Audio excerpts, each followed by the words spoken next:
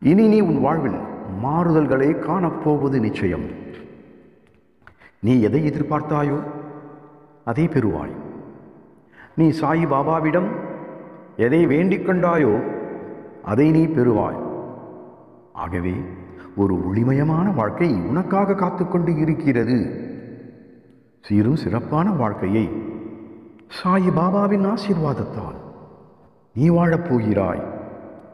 நீ என் உண்மையான தீவிர பக்தன் என்பதை நான் அறிவேன்.